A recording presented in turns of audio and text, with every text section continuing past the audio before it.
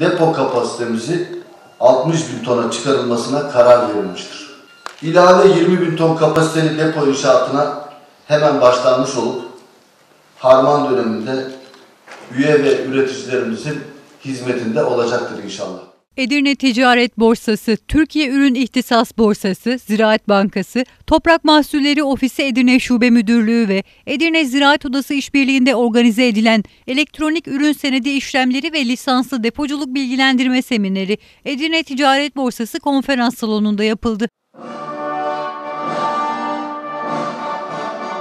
Lisanslı depoculuğun amacı ise, sistemin amacı ise ülkemizdeki depo, depolama altyapısını sağlamlaştırmak.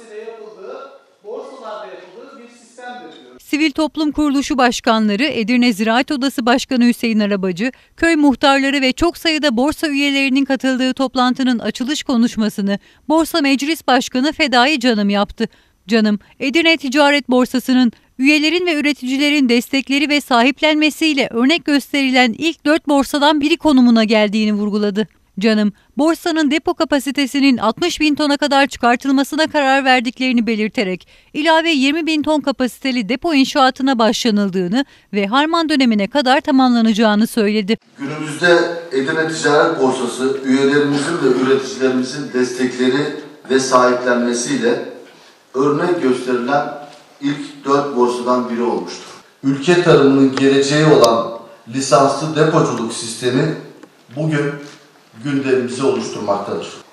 Edirne Ticaret Borsası yıllardır sürdürdüğü yatırım odaklı faaliyetlerine bundan sonra da devam edecektir. Üyelerimizin ve üreticilerimizin lisanslı depoculuk sistemine sağlanan avantajlardan en iyi şekilde yararlanabilmesi amacıyla depo kapasitemizi 60 bin tona çıkarılmasına karar verilmiştir.